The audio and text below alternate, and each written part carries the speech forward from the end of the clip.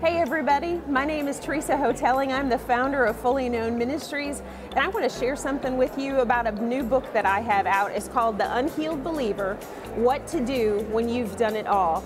I have a story of being sick for 13 years with things that the doctor said could only be fixed with surgery or were incurable.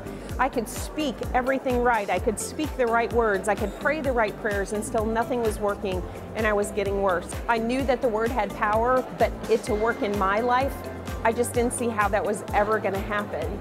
And over a period of six months, God showed me how to get revelation. He showed me my authority. It's on March 13th, 2014.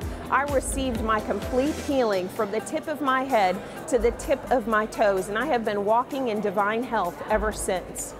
Revelation is not for ourselves. Revelation is to give to others. And that's exactly why I wrote this book. This book is filled from front to back of everything that I did, the principles that I applied, the mindsets that I had to change in order to receive that healing that He had already provided for me, to receive the healing that I already had on the inside of me. It was just a matter of getting it from the inside to the out.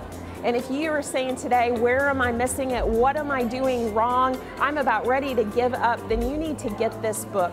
This book is going to encourage you, it's going to help you, it's going to change your mind, it's going to change your heart, and in the end, it is going to change your life.